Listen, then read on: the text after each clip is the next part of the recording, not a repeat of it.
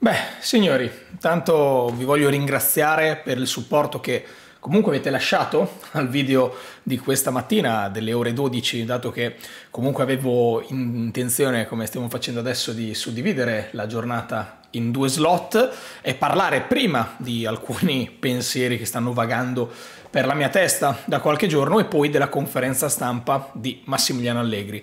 Devo ringraziarvi appunto perché il video è andato molto bene e qualcosina potremmo dire ancora dato che Allegri ha parlato del suo futuro e queste due cose potrebbero intrecciarsi, quindi vi consiglio anche di recuperarvi l'altro video che trovate qui sopra nelle schede perché magari dirò alcune cose che mm, vanno appunto a collegarsi all'altro e senza aver visto il contenuto di oggi magari potrebbe eh, sfuggirvi qualche collegamento che al momento è tutto nella mia testa vedremo se poi andrà a concretizzarsi invece sul finale di questa stagione.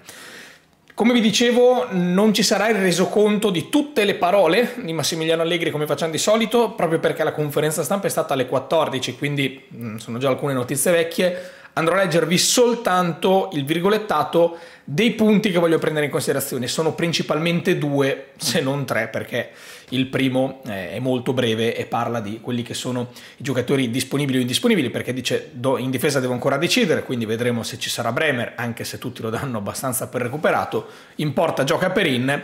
Vlaovic stamattina ha avuto una distorsione alla caviglia, difficilmente sarà della partita, da valutare domani. Quindi eh, Dujan Vlaovic potrebbe non essere, e molto probabilmente non sarà della partita, eh, la partita tosta, quella che andiamo a affrontare domani, e ce la immaginavamo con il numero 9 bianco-nero e senza il numero 9, anche se il numero eh, 90 nero-azzurro, invece molto probabilmente sarà al contrario. Poi su questa cosa andremo a parlarne anche dopo.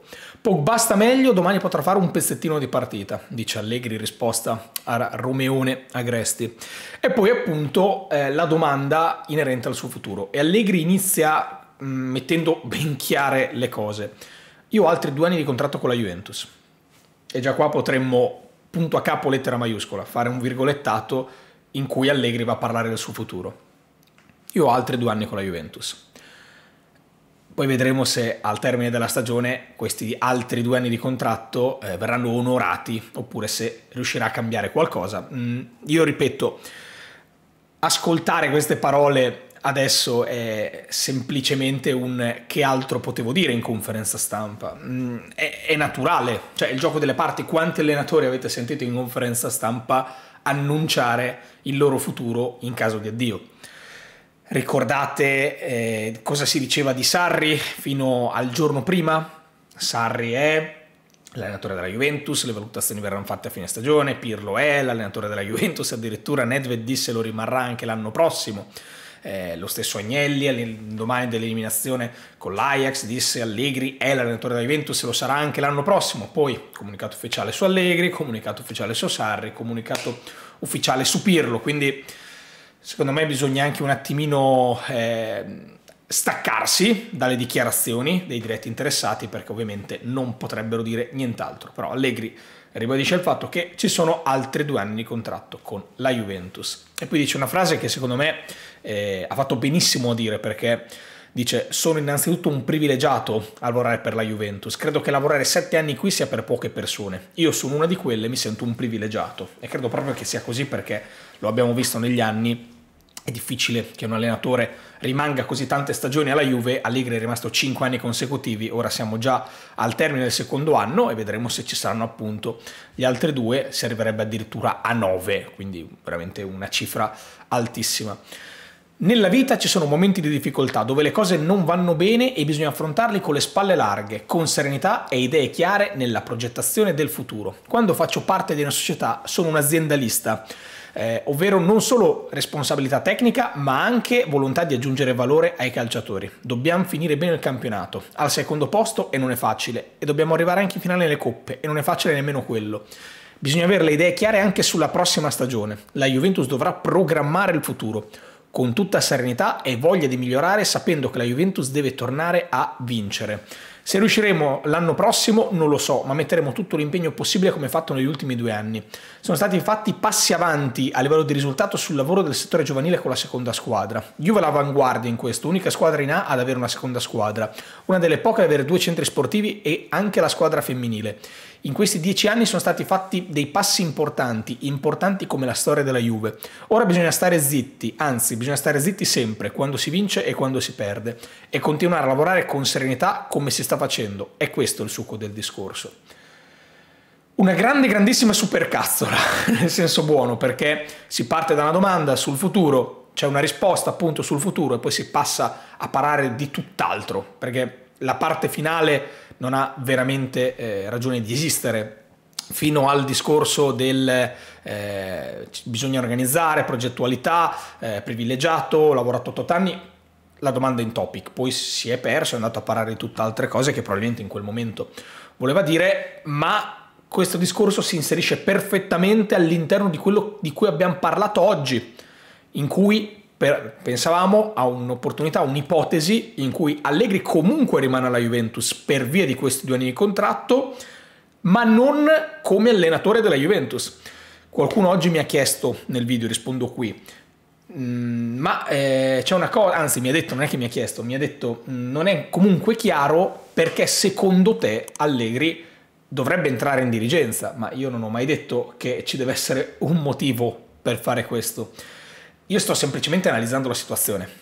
E la situazione è chiara, è lucida e limpida. Allegri è l'allenatore della Juventus, Allegri come ha ribadito oggi ha altri due anni di contratto, John Elkan il giorno dopo il terremoto societario ha rimesso Allegri al centro del progetto, le fonti dicono che Allegri si era addirittura dimesso e che invece Elkan e Agnelli gli hanno chiesto di rimanere alla Juventus. E quindi ora possiamo fare semplicemente dei ragionamenti basati sul nulla.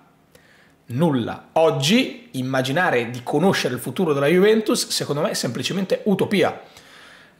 Io dico diffidate da quelli che vi dicono io so, mi hanno detto che qui e là, su e giù. Ci sono delle voci, ci sono delle indiscrezioni, a volte sono pure inventate. La ricostruzione giornalistica da parte dei giornalisti addetti ai lavori più affidabili che solitamente vanno tutti in quella direzione. Ad oggi la Juventus è con Allegri. Punto. Stop. Fine. Poi, se succederà davvero questa roba qui, è un conto, se non succederà questa roba qui, è un altro conto. Ad oggi possiamo solo fare delle illazioni. Perché? Perché Allegri ti dice che altri due anni, perché? Perché Juventus ti dice c'è Allegri che altri due anni.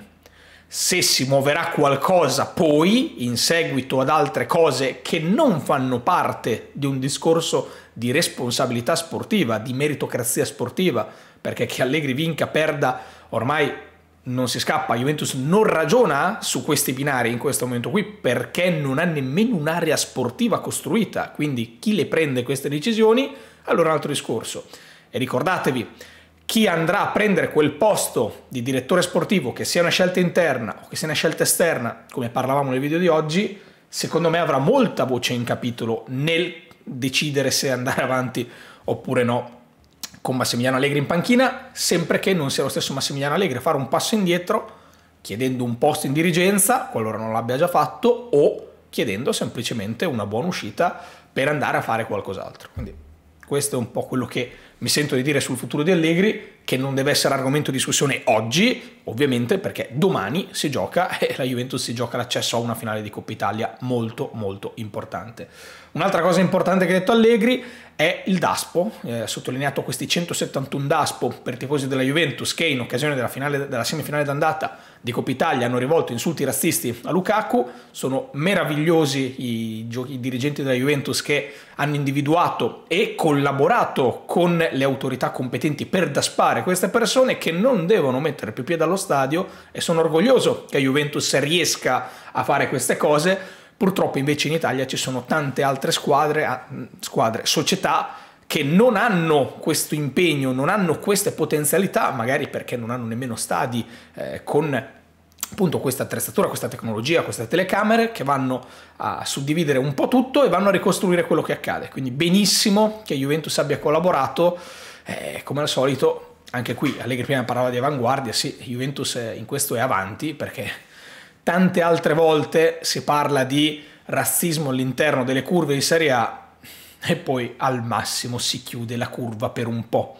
Ha molto più senso, se ovviamente l'obiettivo è la lotta al razzismo, tenere aperto la curva, ma escludere i colpevoli. Perché non ha senso chiudere una curva se poi i colpevoli, passato quel turno di squalifica, possano tornare allo stadio. Non ha senso chiudere le curve, ha senso togliere i colpevoli. Non possiamo continuare a ragionare come si è fatto in passato, sì si chiude la curva perché tanto come facciamo a individuarli? No, se si vuole fare la lotta al razzismo non c'è grazia di Lukaku che tenga, non c'è la chiusura delle curve che tenga, vanno tolte queste persone dagli stadi, punto. Se l'obiettivo è quello lì, invece l'obiettivo è un altro, allora quello che volete. Tutti gli anni lavoriamo per i trofei, dice Allegri. L'anno scorso purtroppo ci è sfuggita la Coppa Italia e anche la Supercoppa. Quest'anno invece abbiamo due trofei come opportunità. Stiamo facendo un buon lavoro, sono stati inseriti diversi giovani. Poi qua non ho capito perché dice, oddio, vedendo quello che hanno deciso e ovviamente fa riferimento alle decisioni della procura, uno di 22 anni d'ora in avanti si potrà chiamare di nuovo giovane, però questo fa parte del mondo Italia quindi se va bene a loro va bene a tutti. Poi però non lamentiamoci se uno chiama giovane uno di 22 anni, ci sono tante cose da sistemare e decidere, però non si decidono mai e va bene così. Non ho assolutamente capito qual era il focus di questo discorso, quindi chiedo anche un pochettino voi. Vi ho letto questo trafiletto perché la domanda in realtà era sulla concentrazione, dato che eh, è stato chiesto ad Allegri eh, come mai la Juventus comunque ha, ha, questi sbalzi e dice concentrazione, il gol dell'altra serie, quello di Sassuolo sono responsabilità nostra, quelle cose che fanno vincere o perdere. Come dico sempre, al 93esimo, se non l'hai vinta in 93 minuti, non la puoi perdere e non la devi perdere non so che detto sia, e, e, poi dice, infatti l'altro giorno siamo stati disattenti, allora vedi che la puoi perdere, lo abbiamo pure visto. Poi dice, domani mattina vedrò, Milik potrebbe giocare se recuperato dallo eh, sforzo fisico eh, de, dell'ultima partita contro il Napoli, e poi dice, Tridente, Ken è fuori di sicuro, domani mattina decido tra Milik, Chiesa e Di Maria. Se giocano tutti e due o ne giocano soltanto due, tutti e tre o ne giocano soltanto due partita lunga potrebbe aver bisogno di cambi. Ricordiamolo, Quadrado è squalificato, quindi non può essere un cambio. Vlaovic indisponibile, molto probabilmente per via del problema alla caviglia. Milik se non ha recuperato, punto interrogativo, Ken non ci sarà. Quindi Chiesa di Maria e forse Milik se sta bene al primo minuto. Quindi le possibilità di vedere addirittura magari un 3-5-2 con Chiesa di Maria dall'inizio ci sono. Allegri ha detto domani valuto se giocano tutti e tre o solo due e se Milik non ha recuperato viene da sé pensare che possano essere proprio Chiesa di Maria, gli attaccanti in un 3-5-2. 3-5-2 che sarebbe molto diverso per caratteristiche là davanti. Quindi vediamo un attimino che cosa succede. Eh, immagino che a destra giocherà De Sciglio e attenzione che mi viene da dire ci potrebbe essere pure un'ipotesi di un 3-4-3 o di un 4-3-3. Vediamo cosa succede. Finale di Coppa sarebbe il raggiungimento di due obiettivi importanti, ovviamente di tutte e due le coppe, però facciamo un passo alla volta perché prima c'è la Coppa Italia. E poi Allegri dice anche perché abbiamo preso gol al 93esimo con Napoli e Inter e questa cosa va sistemata. Ecco, io voglio finire questo video con un ragionamento, perché non è che va sistemata solo questa cosa che abbiamo preso gol al 93esimo, va sistemata pure davanti, non solo dietro, perché siamo a fine aprile, è il 25 d'aprile. E quante volte siamo stati qua a dire che dentro aprile ci saremmo giocati praticamente tutto. Se nelle ultime 5 partite di campionato abbiamo fatto 4 sconfitte, se nella finale d'andata con l'Inter, nella semifinale d'andata con l'Inter abbiamo pareggiato, se nel quarto di finale di ritorno con lo Sporting Lisbona abbiamo pareggiato, se abbiamo vinto soltanto due partite in tutto aprile contro l'Ellas Verona per 1-0 e contro lo Sporting Lisbona per 1-0, Due domande vanno fatte anche perché abbiamo giocato ben sette partite in questo mese. Abbiamo subito sei gol, praticamente un gol a partita e ne abbiamo segnati soltanto cinque. Cinque gol segnati e sei gol subiti in sette partite, sette partite di questo grado di importanza è uno score assolutamente negativo e rivedibile per la Juventus che si ritrova nelle ultime 5 di Serie A ad averne perse 4 con una classifica che al netto dei 15 punti restituiti non sembra sorridere, sembrava sorridere molto di più in precedenza quando ancora non c'erano i 15 punti e la Juventus viaggiava ad un ritmo differente. Tra febbraio e marzo abbiamo visto una Juventus differente rispetto ad aprile, ad aprile calata in negativo. E quindi ora vorrei cercare insieme a voi di vedere questa cosa che ho messo anche su Twitter e, e su Instagram nella giornata di ieri, queste sono le statistiche dell'Allegri Bis, perché domani sarà la 99esima partita, 99esima partita, 99esima panchina di Allegri dal suo ritorno alla Juventus. Nelle 98 precedenti ne abbiamo vinte 54, il 55%, ne abbiamo pareggiate 19, il 19% e ne abbiamo perse 25, il 26%. Quindi sono numeri non proprio eccezionali, stiamo parlando del 55% di partite vinte e del 26% di partite perse. 149 gol segnati, quindi soltanto 1.52 gol a partita e 98 gol subiti in 98 partite, quindi un gol subito a partita. Sono numeri che preoccupano in generale, in totale, e allora voglio cercare di fare una sorta di distinguo perché se è vero come è vero che in 98 partite ci sono stati 0 trofei, al netto degli 0 trofei dell'anno scorso, quest'anno possiamo ancora alzarne due e uno passa per forza di cose dalla serata di domani.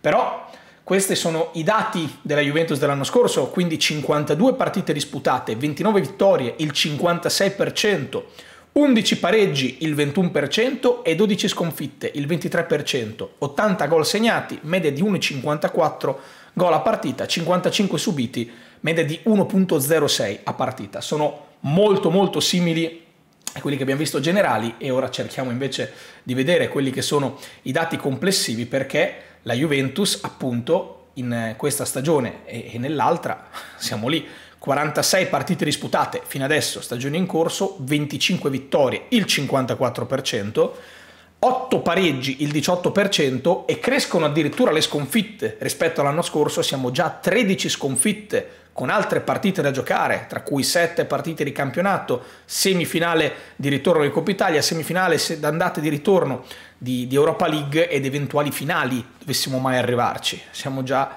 a 13 sconfitte contro le 12 dell'anno scorso, soltanto 69 gol segnati, 1.5 a partita, quindi addirittura dato in controtendenza negativa rispetto all'anno scorso. Abbiamo peggiorato l'attacco e abbiamo, abbiamo leggermente peggiorato l'attacco e abbiamo leggermente migliorato la difesa, perché siamo a 43 gol subiti su 46 partite, 0.93. Eh, ma rimangono dati, per quanto mi riguarda, abbastanza brutti. Aggiungo un altro dato, poi magari cercheremo di fare anche un ragionamento generale nei cinque anni precedenti di Massimiliano Allegri alla Juventus nell'Allegri 1.0, in cinque anni 37 sconfitte in totale. Ovviamente si parla di rose con altra qualità rispetto alle due che ha allenato nel ritorno, però 37 sconfitte in 5 anni contro 25 sconfitte in meno di due, perché la stagione deve ancora completarsi. E siamo a due partite dalle 100, due panchine dalle 100 e c'è un altro dato che va inserito che in queste 98 partite ci sono state 98 formazioni consecutive differenti. Non c'è mai stata una volta che sia stata confermata la, la formazione della volta prima, almeno un cambio in tutte le occasioni. L'unica volta in cui ci siamo avvicinati un pochettino, appunto, tra gennaio e febbraio e un pochino a marzo, quando la Juventus aveva trovato il suo equilibrio col 3-5-2, Scesni, difesa brasiliana, Kostic e Quadrado, Locatelli, Rabiot, Fagioli, Vlaovic e Di Maria. Quella sembrava essere la formazione titolare della Juventus, anche guardando la formazione di Napoli, guardando la formazione eh, di Lisbona, guardando la formazione probabile ipotetica di domani, capite che inizia a muoversi un po' troppa roba e, non sembriamo in questo momento aver trovato un'altra quadra con quelli che sono stati i recuperi dei giocatori in corso d'opera. E quindi niente, alcune considerazioni generali, fatemi sapere la vostra qui sotto nei commenti e noi ci vediamo domani per l'analisi preliminare di un Inter-Juve che ci dirà tanto. Domani sapremo di che morte moriremo in questa stagione, se potremo sperare almeno in un altro trofeo oppure no.